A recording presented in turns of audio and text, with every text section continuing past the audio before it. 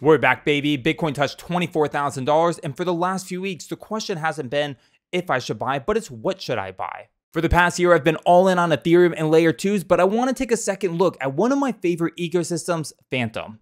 Andre Cronje, the father of DeFi, has returned to the Fantom Foundation in a very public way. I want to talk about the latest things that have been happening on Fantom, new projects that have been launching, and why Fantom doing a 2x from here seems too easy and why it deserves to be on your watch list. What's up, YouTube? Welcome back to my channel. If you're new here, I'm Crypto with Nick. I'm a crypto enthusiast and DeFi investor, and I'm always looking for the best strategy. If you caught my latest YouTube video on liquid staking derivatives, I hope you're enjoying those healthy gains. Be sure to come follow me on Twitter, hit the subscribe button, and come join the free community Discord. But let's get into today's video. And of course, timestamps are below, so if you want to jump right into the latest projects that have been launching on Fantom, feel free to skip ahead.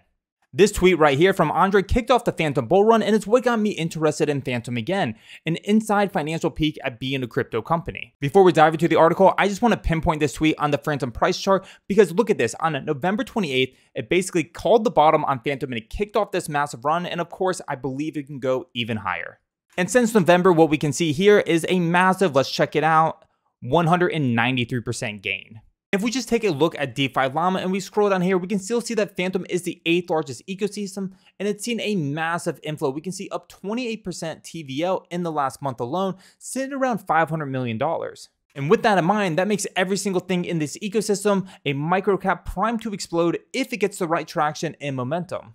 Now, I'm not going to read this whole article because I don't think it's necessary, but if you get some free time, be sure to pull it up and check it out but it tells the story how Fantom was able to grow its treasury to this massive war chest where they have over 30 years of runway. They also talk about gimmicks and marketing stunts that they passed on to go ahead and continue investing in their ecosystem. Here you can see on October 22nd, an NFT exchange asked them for $100 million to deploy and they pass on it.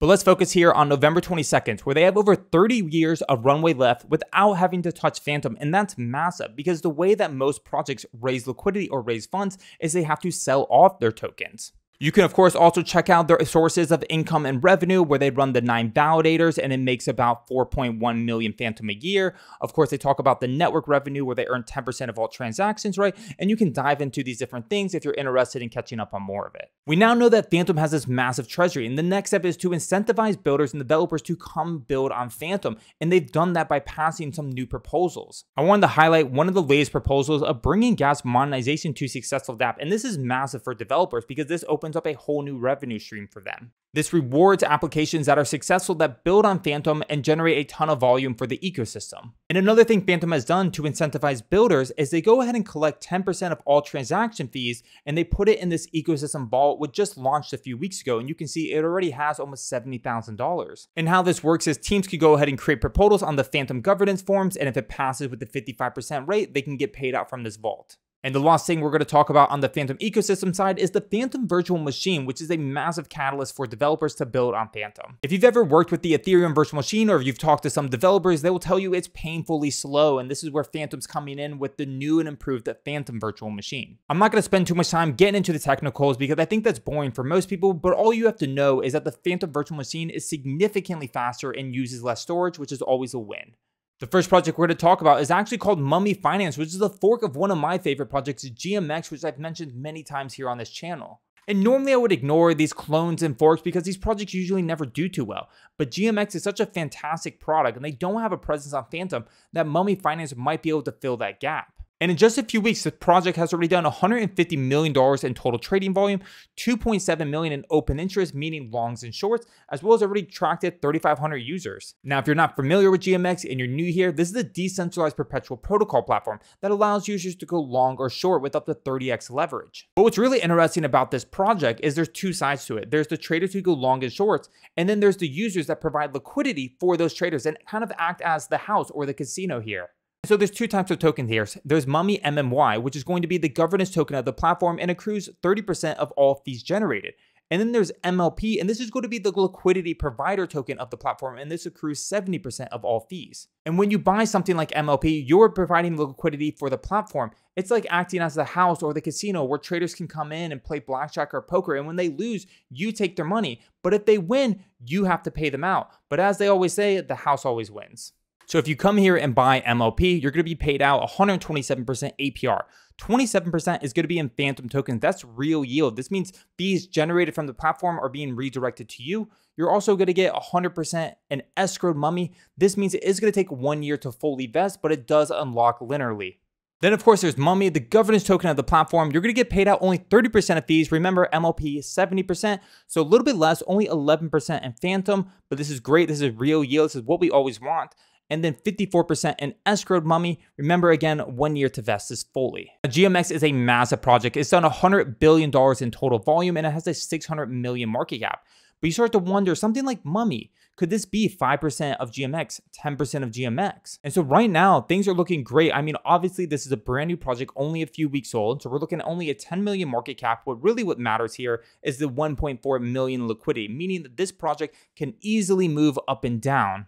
Of course, with any new project, there are risks, but Mummy should be on your watch list. The next project I'm really excited to talk about is actually called Equalizer, and this is actually a new and improved version of Solidly. If you don't know Solidly, it was actually a picture initially created by Andre Cronje. About 11 months ago, I did a video on it. The problem with this project is it had some bugs and fatal flaws, and with the contracts being immutable, meaning they couldn't be changed, the whole thing kind of just fell apart. But the idea was so genius, I'm really happy someone's bringing it back to life. And so the team at Equalizer took the original projects, they fixed the bugs in the code, they put their own spin on things, and I'd love to walk through it. To understand the power of Equalizer, we first have to talk about a few quick concepts on why a project like this is even needed when we already have things maybe like Uniswap or SushiSwap.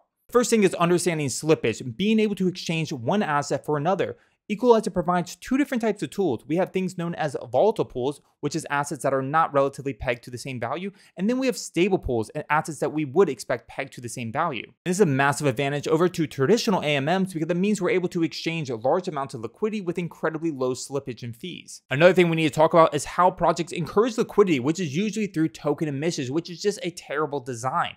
This means as a project, I have to inflate my circulating supply and give away free tokens so that people will provide liquidity for me. And so what something Equalizer is trying to do is improve on the curve wars. And if you aren't familiar with that concept or what that is, I have some videos, definitely go check them out. As a quick summary, over on the Curve platform, I can go ahead and lock up my Curve token and receive voting power, and I can vote on which pool should receive Curve emissions. And projects figured out this was a much, much more beneficial way to attract liquidity for their tokens. Rather than inflating their own tokens, what they could do is give bribes to Curve token holders to vote for their pools and redirect the Curve emissions. What Equalizer has done is built bribes directly into this platform where if you go ahead and vote for these pools, you'll receive a portion of these bribes directed to you. So it's a revenue source for holders. To recap how this works, you would accumulate the equal token, which is great because that decreases the circulating supply and the selling pressure, and you would create a lock, which essentially gives you an NFT and voting power.